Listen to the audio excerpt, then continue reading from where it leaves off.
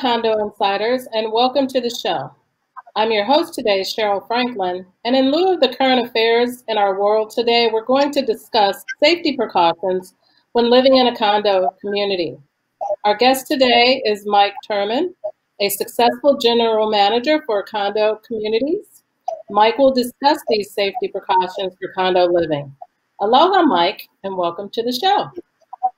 Hi, Cheryl. It's good to see you again. It's been a while and I appreciate the invitation here today. Absolutely, and you're right. It has been a while. We'll have to fix that going forward. Why don't you uh, tell the viewership a little bit about yourself? Um, well, uh, everybody knows my name now. My name is Mike. I've been in Hawaii for about 30 years. I came over in the military in 1989. Uh, absolutely fell in love with Hawaii and knew that it was going to be home. Uh, shortly after getting out of the military in the early 90s, I got lucky and found myself with a very fortunate opportunity in my first small building down in Kaka'ako. Uh, 75 units, one man show, all senior citizens, and uh, just found that it was a it was an industry at that time that was still quite uh, new, and I succeeded well in it. Developed a great network of, of people back then. The communities uh, early on were still new to the industry, but already making a name for themselves. And here I am, nearly 30 years later, uh, doing this. Uh, I love property management. Uh, you and I have worked together in the past. I got lucky, married a beautiful uh, local lady, have three kids. And honestly, I can't see doing anything else. I'll do this as long as I can uh, walk around, and as long as a, a, property will have me, this is this is definitely the trade, the industry that has uh, become my passion. Yeah, yeah, great. No, that sounds wonderful. And I, you're right, we did work together on a couple of uh, projects, and I have a great deal of respect for you, and I think you're awesome. And I want to thank you for taking the time to come on the show. Oh, it's yeah. my pleasure. Thank you. Thank you. So let's uh, dive right in. I mean, there's a lot going on. I know we're kind of, most of us are kind of, you know, hunkering down inside. But I think um, essential workers are kind of out and about. But more importantly, when you live in a condo community, we're kind of on top of each other per se. And there's a way to kind of mitigate through that, adhering to the guidelines of, you know, all the um, kind of separating and things like that and washing your hands. So you are on the front line in that respect in this industry. So why don't we kind of talk about a little bit um, one of the key elements in all of this communication. Uh, absolutely, Cheryl. Um, effective communications, uh, I think, starts with the relationship that you have with your community. Uh, recognizing all the different types of uh, communities that are out there, ranging from the low income apartment communities to the high end upscale Kaka'ako properties, blue collar, white collar. Uh, effective communications is really going to be uh, strongly contingent on the type of relationship you have with your community. Um, what type of interactions do you have with them directly on a face to face basis? How often are you seeing them on a regular basis? Uh, what types of communications do you have in place? Uh, do you use bulletin boards? Do you use email blasts, uh, newsletters, uh, websites, uh, mailings? What type of communication works best for your community? And, and that's really going to be contingent on the type of population you have. I myself mm-hmm. manage a high rise down in the university uh, Kapiolani area. A lot of blue collar, a lot of white collar, and, and some higher end uh, residents find they're all very Akamai, and we have a strong, very personal connection. And it's easy for me to call all of my residents friends. And so I base my communications around that type of personal um, effect. And they, they like the email blasts. They, they, I've got close to 400 emails that receive my weekly report uh, to keep them abreast of what's going on in our community. Uh, COVID 19 being dominant right now. Oh yeah, sure, sure. And that was going to lead to my next question: is how often we should communicate. You know, I know with everyone being home and hunker, hunkering in, it's kind of like, you know, they want to stay informed outside of the media. Obviously, that's your first uh, line of communication from our government officials. But right there at home, I mean, the communication within the community is also equally just as important. It, it really is. And uh, of course, I, I personally, I don't know if anybody has ever actually experienced this kind of a situation before. We've had tsunamis and earthquakes, and it's easy to develop a, a procedural policy to respond to those types of events. But this is really something new in the in in the country, in the world. So I, I imagine that a lot of general managers now are, are reviewing their, their procedures on how to respond to this. For us, right now, any breaking news, we get out to our community immediately as it pertains to COVID 19. Um, things are changing so rapidly in the country and the world, and right here in our state, that immediate communication, keeping the residents apprised, um, I, I, believe it helps mitigate fears. It, it helps reduce panic. When the resident comes by my office, I'm considered an essential worker. Um, yeah. They they enjoy taking that moment to to stop by and see if there's anything new. They're asking about my health, and I'm asking about theirs. But that immediate awareness of any changes uh, is so vital to help reduce the panic in our building then in our community, our neighborhood, and ultimately our state. It's it's keeping everybody informed. And unfortunately, you know, a lot of the news, it, it there's so much politics involved. People don't know what to yeah. trust, so they're going to look to that person that they they trust personally to give them the truth. And that's not to say that falsehoods are going out, but that relationship that you've developed, they trust you. My residents, I believe, trust me, and if I'm going to tell them something, I better be 100% accurate. And if I don't feel I can be, I'm going to tell them I really don't have an answer on that subject. Yeah, I think that's key. That's key. You're right. There's so much information out there, so much politics and things like that. But the priority is safety. And you can build from that, just establishing or having a relationship of trust with the community and with your um, association. So I think trust. Um, that's something we don't have enough of in the world today. So it's always good when when you have it right there at home. Um, I that's correct. also want to ask, yeah, yeah. So also, have you had to make many uh, operational adjustments? Because, like you said, you're considered an essential worker. Not everyone is, um, and you can probably touch touch on that a little bit, but um, being an essential worker means you're there, but you probably had to make some operational adjustments as well. That's that's correct. Uh, one of the first things that I did, and I think this kind of segues between communications and and operational adjustments. I've had to speak to my team. Uh, I have a small team. We're not a big building, uh, but I do have a small team, and I'm communicating with them on a regular basis so that they stay educated what our expectations are for them within the building. Uh, up until recently, we had a, a, very successful preventive maintenance program. During this situation, during the pandemic, our focus has become primarily custodial and janitorial. We are sweeping through the building on a regular basis as often as possible just to make sure that we're hitting all those key components using disinfectants, keeping elevator buttons wiped down, things of that nature. Um, we've had to close our pool uh, with people in self isolation or self quarantine. Uh, we fear that they might want to gather down at the pool because they, they want to get out of their homes. And unfortunately, that can result in gatherings of large groups. Um, right. So we've stopped right.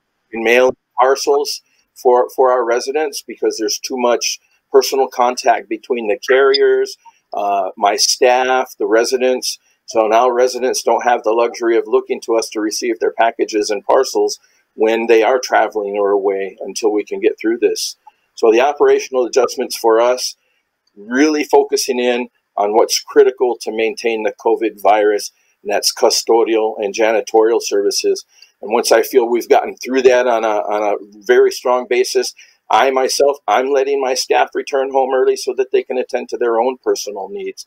Not everybody has that luxury, but I stay on site throughout the business day for communications, and I send my team home. Wow, wow, that's a that's a great practice. Um, they're very lucky to have you at the helm there. Um, as you can tell, you know, I just a moment ago touched my face and something that we should not do. So it's we definitely have a new normal that we're trying to, you know, kind of adhere to, and things are changing, and we're doing our best to to get things right and be conscientious about um, making sure we maintain what is it six feet distance and things like that. And I applaud you. I think you know sanitation, of course, and disinfectants and wiping down common areas is very important because let's face it, if you live in a building that has an elevator, you know, that's kind of a tight quarter. So everybody has to, you know, do their part in trying to, to mitigate or flatline the spread of, you know, um, COVID 19. Um, I think that's also a very good point that you bring up um, as it pertains to amenities and, you know, because you know, even where I live, the kids are going nuts and they want to go out in the in the courtyard here and they want to play and they want to get out. But you know that constitutes you know a gathering, and so it's a it's it's it's different. And who's there to kind of monitor and keep people aware of all of these um, guidelines?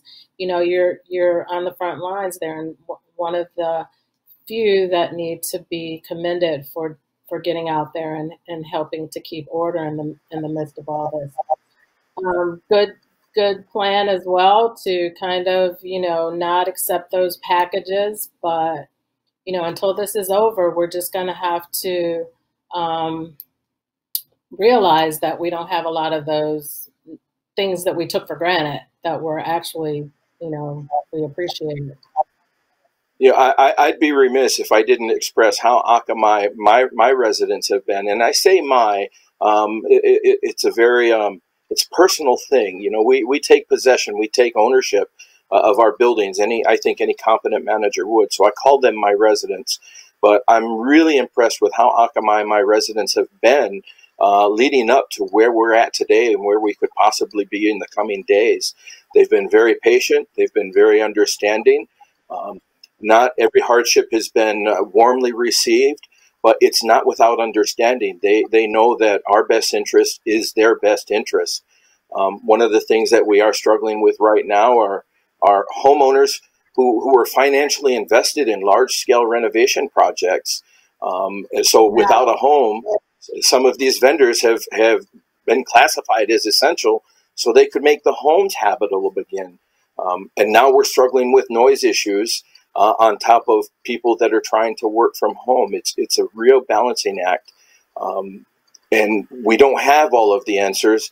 And again, being honest about not even having an answer for them uh, or a solution for them, at least lets them know we're hearing them, we're aware of it, and we're working to get everybody through this as equitably as possible. Yeah, yeah, and I think that's that's very important, and that's kind of you know the the deal where we live, you know, Akamai and Aloha. So we're, we'll get through this and we'll get through it together. And uh, we're going to take a moment for a break. And this is a good place for a break. And we'll come right back and continue the conversation with Mike. Thank you. Look forward to it.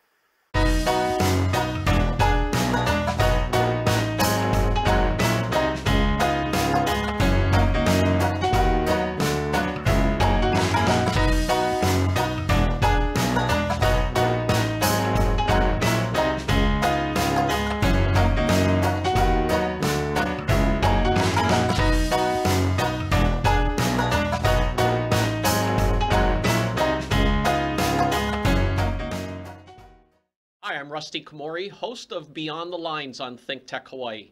I was the head coach for the Punahou boys varsity tennis team for 22 years, and we were fortunate to win 22 consecutive state championships. My show is based on my book, also titled Beyond the Lines, and it's about leadership, creating a superior culture of excellence, and finding greatness. I feature a wide range of amazing guests who share valuable insights about how going beyond the lines leads to success in everything you do in life. I'm looking forward to you joining me every Monday at 11 a.m. Aloha.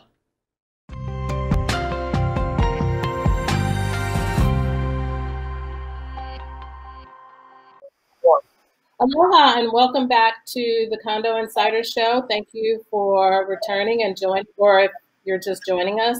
Um, welcome. We're talking about condo living during this uh, era of COVID 19 and how to navigate through that when you live in a condo association or community. Um, before we went to the break, we were talking about uh, some of the sacrifices that we've had to make in a community as it relates to scheduling contractors and who's deemed essential employees and why. And I, I, I'd like for, for you to touch on, Mike, how do you navigate between the two when it comes to scheduled maintenance or contractors or projects that were in the pipeline to, to perform and things of that nature? Because I imagine, you know, all of the projects that were scheduled are not deemed emergency, if you will, or essential. So if you could touch on that a little bit. Uh, absolutely. Um, we do have a few units within our building that, that were in renovations when this hit. And as a result of those renovations, some of our residents, uh, typically homeowners, they're displaced because of these renovations. So, in mm-hmm. communications with the president uh, and our account executive, we've determined that allowing those homeowners to continue their renovations is considered essential. They need a home, they need workable plumbing systems, electrical systems. So we're allowing that type of work to continue. But looking out to the future, coming days, weeks, possibly months, uh, we have let it be known to our residents that plumbing shutdowns, power outages for routine repairs, we're going to be declining them. Uh, if there's not an immediate threat to life or property, then those types of repairs are just going to have to sit on the wayside. If somebody says they need a valve replaced, we're not going to permit that replacement unless we have an active leak and it's confirmed by myself or one of my team members because we can't have anybody taking advantage of, of the operations just to get something done that they think is important to them but isn't necessarily a high priority for the community as a whole. Yeah, yeah, a lot to navigate there. And then I imagine, you know, there are going going to be instances where, you know, some homeowners, I don't, I, I won't say they may not be happy about that because I believe during this time, everybody understands. We all get it. And so we understand that these things have to come into play because it's, it's the state of current affairs where we live right now. That, that that's correct. And, yeah. and ultimately, uh, the plumbing won't be shut down unless you know my staff and I facilitate the shutdown. So they're scheduling work that's going to require our assistance to facilitate it. Uh, they'll really just be spinning their wheels. Um, they may express their upset, their ire to myself or the board, but ultimately mm-hmm. we have to do what is is really best for the community as a whole in unprecedented times. Yeah, yeah. Well, you know, I think, like you said, these times are unprecedented, so we all have to do our part. Um, it sounds like you have a, a, a very uh, strong operational system that you're putting in place that's evolving, I imagine, every every day or every week as you know the guidelines change every week in terms of you know the um, the mandate and, and controlling this. Um, operations as far as your staff and personnel. I applaud you for giving them the opportunity as well to tend to their their families and things like that. So it's it's quite a balancing act. Um, it, it, really is, and and I think everything uh, can quickly point back to our very first topic is communication. This situation is so fluid uh, and and updates are coming from the from the federal, state, city, and county levels on such a rapid basis. Uh, updates of numbers, uh, updates of, of changes and guidelines. Our you know our personal lives are affected even as managers. Our our children are now out of school for another month, and we have to manage that at home while we're still trying to provide the very best and quality of services for our residents within the community. So it, it really ties everything together. Um, you know, years ago we used to talk about uh, what we do, Cheryl, as as uh, building managers and general managers, and uh, there's been this move. We're community managers now. Anybody can manage a building, but being able to really develop a relationship and a strong rapport with the people that, that live in that building, we're community managers now, and I, I feel so lucky to have such a great community that understands the balance that I'm trying to keep at home, the balance I'm trying to keep for my staff so that they can manage their own personal needs, and of course, their well being as my residents and homeowners. They're, they're just so wonderful and so cooperative and extremely patient that the bad news, when it comes, they know it wouldn't be coming if it wasn't factual and correct. And that, that respect that, that they've given me, that trust that they've given me, is all because we've developed that communications um, confidence early on since I've been there now three years at, at Skyrise. Oh, nice, nice, yeah. I, I, I, you know, I think that's wonderful. You know, I know of instances being in the industry as long as I have, and and and and all the uh, connections that I have, I know that it's been challenging for a number of homeowner associations. And I also know it was a challenge initially because, as you know, this is the time of year when a lot of associations have annual meetings and things like that.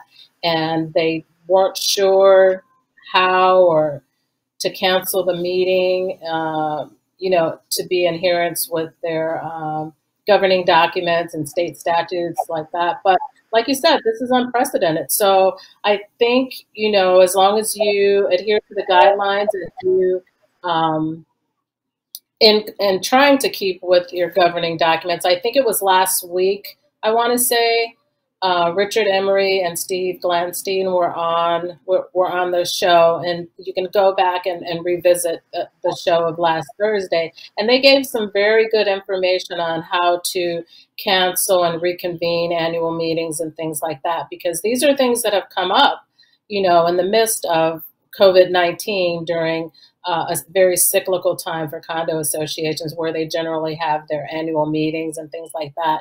Do you, did you run into any instances where you had to cancel meetings and give notice and post new notices and things like that, or did everybody just kind of figure that out in conjunction with that? Well, it's it's funny you mention it. Uh, Steve Glanstein is our parliamentarian for our property. Um, I've known he and, and Richard Emery for a great many years. We actually have an annual meeting scheduled for this coming week, the 31st. And with oh, wow. the notices and everything that have, have gone out, um, it left us in a quandary. So we, we reached out to legal, we reached out to Steve to find out um, how within our governing documents can we stay legal. And as it turns out, we, we've got communication going out to the homeowners, uh, as well as posted and email blasted to our homeowners. Uh, we, we still have to have a meeting technically, uh, but we don't even have a meeting room because our reserva- uh, reserved uh, site was canceled because it was a DOE cafeteria. So we're going to have our president, board member, and myself uh, on site, outside the fence. Um, and basically, we're going to go through the process, the formal process, calling the meeting to order, um, making everybody that might be in attendance aware of what's happening, and adjourn the meeting to another date, which we are also working right now to identify. But meeting locations are scarce to come by because nobody knows when they're going to be able to be available for large groups again. Right, right. So it's kind of like everything is on hold. I imagine. I imagine Steve's getting a lot of phone calls. um, I, I and, only imagine. You know, it must be very, very trying for him. But that's that's why he gets paid the big dollars, and he's he's so specialized in his in his trade. Yeah, he's great. He'll, he's great. I'll have to remind him of that, and counsel too. But you know, at the end of the day, I think you know, I think a lot's going to change. A lot's go- going to change in terms of compliance with everything because this is unprecedented. And I think, you know, I think if anybody challenges anything during uh, at a time like this, you know, how to handle these things in terms of a pandemic. Uh, you know, they didn't write that into the legislation when they were planning um, uh, these things. So it may change in the future, but for now, we just have to, like you said, listen to parliamentarians, your property managers, your counsel, things of that nature, and communicate and just keep everybody informed until we can return to normal and we don't even know what that's going to look like when it happens. Yeah. That's that's such a great statement. We we don't know what the end result is going to be. Um, you know, everybody's struggling with the economy. I have so many homeowners that have to work from home, and so many that aren't working at all. So, what's where are we going to be at in a week, two weeks, a month, three months, this time next year? Uh, society could be so different because of this. And, and one of the funny things I recognized is several years ago in another uh, community, uh, a large community, uh, the staff and I felt it was appropriate to put hand sanitizers uh, in the lobbies, and that was met with uh, with some upset uh, by by people. I, I, no names mentioned. Fair enough. We removed them, and now you can't find a, find a hand sanitizing station to save your life. They're on back order. I was fortunate to get one, but I'd like to have at least a half a dozen others.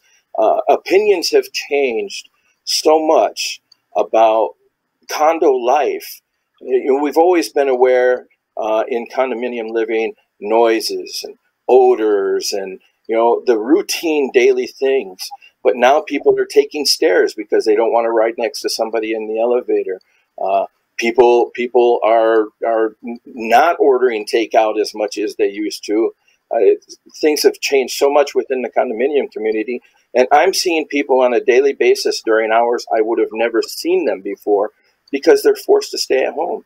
It's really changing the operations, and all I can do is take notes whenever I experience something different from the norm, so I can put that into the book later on when we're upgrading our, our, our policies and procedures.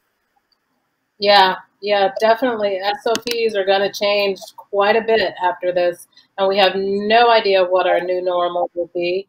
We have no idea how to deal with the consequences of this because, as you said, many folks are at home. Um, many folks are not working. The unemployment rate is going to skyrocket, and that could lend itself to a surge in uh, delinquencies and things like that. And we know we know how problematic that can become. You know, that's kind of uh, how you do business from you know maintenance fees and and when that's not consistent or you don't know how to budget for um, for things that you may or may not have to eventually write off it makes it makes accounting and it makes budgeting and it makes everything uh, a bit of a challenge and then you have to you know look for ways to reevaluate that and that can affect everyone from the staff to amenities um, and things of that nature. So we don't know what the new normal will be, um, but like you said, if we just stay in communication, regular communication, and with uh, the community, and uh, do our best to make sure that everybody is safe and things of that nature, that's all we can do, um, one day at a time, because we we didn't have a manual for this. there was no pandemic manual. So, so, so true. So true. In Hawaii, tsunamis, earthquakes, hurricanes, these are things that I'm sure any competent manager has has some sort of a response procedure uh, in their in their guidelines. This is one we've never really thought about, and, and funny considering our location between the Far East and the mainland. Uh, it would have been something topical in our in our opinions because we're the gateway between two different uh, two different life lifestyles, uh, Asia and and America. But guaranteed, it's going to be in our policy manual now. I can't imagine who else is thinking about the changes that they've got to make to their own. Uh, but again, here in Hawaii, the aloha spirit that we will get through it um, at, the, at my community level, the people I'm seeing standing in the long lines at Costco and the grocery stores, I haven't seen anybody acting in despair. Um, so to me, I just I know that I'm lucky I live Hawaii, and and I want to thank you for allowing this opportunity to to talk about this because at, at, our level, where the where the rubber meets the road, I think our our industry really needs to hear this uh, in a different venue than what they're hearing on the radio um, and the public statements from our governmental leadership. So thank you, Cheryl. I appreciate the opportunity and the invitation. Thank you, Mike. Thank you. And I agree. And uh, I echo your sentiments in terms of I've only seen, you know, a lot of aloha.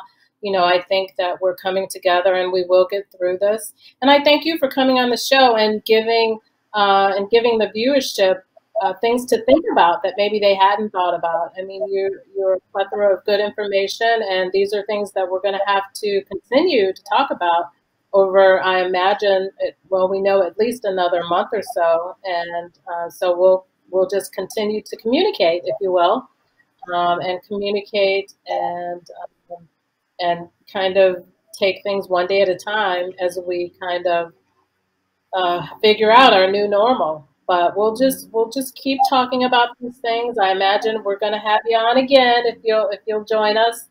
And um, you you know how to get in touch with me. It's it's my pleasure. Anything I can do to serve my community, um, I'm here for you. Thank you, Mike. Thank you. And we really appreciate it. So I want to thank everyone for tuning in and please tune in again. Uh, like I said, we're going to continue these shows. We're going to continue talking about the things that you want to hear. Um, we uh, kind of moved away from our normal programming, if you will, um, because at this time, you know, we're at a different state um, in terms of, uh, of the world, if you will. So uh, we're going to be focusing on this topic for a little while. And please uh, do uh, write in if you have topics that you'd like us to discuss, and we can certainly visit that. So thank you for joining and come again. Aloha. Stay